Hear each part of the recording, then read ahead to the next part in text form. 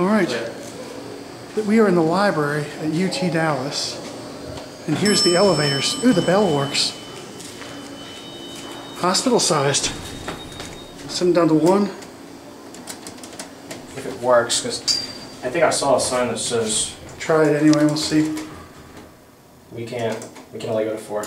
Because I think I saw a sign that said elevators don't serve basement. What's that motor? Mm -hmm.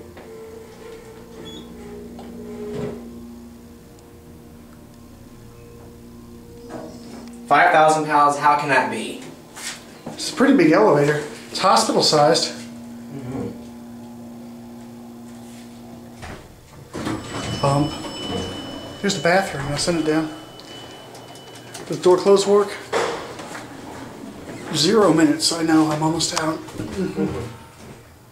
I got some dust on my lens. Fixtures.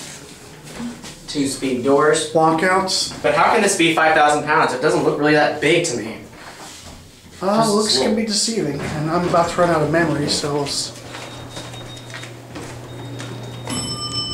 the bell indicator worked, and it will close up. There it goes, and that's it.